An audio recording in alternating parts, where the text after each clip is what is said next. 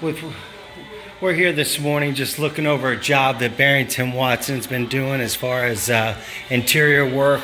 You're going to notice that a lot of areas right now are just being uh, completed, so the walls are a little still wet, and uh, the lighting's a little off here. Perfect. Here we go.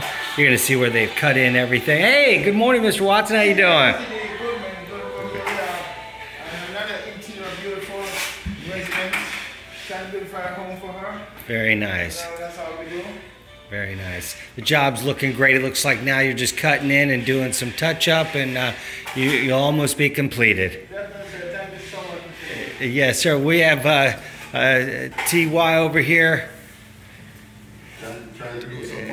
Very nice. I'm, I'm noticing that you're getting it, uh, you know, all pitched up, tidied up, and then just be able to paint right over it, look brand new. Patching and this looks wonderful. Awesome. Yes, very nice. Thank you very much, Mr. Watson.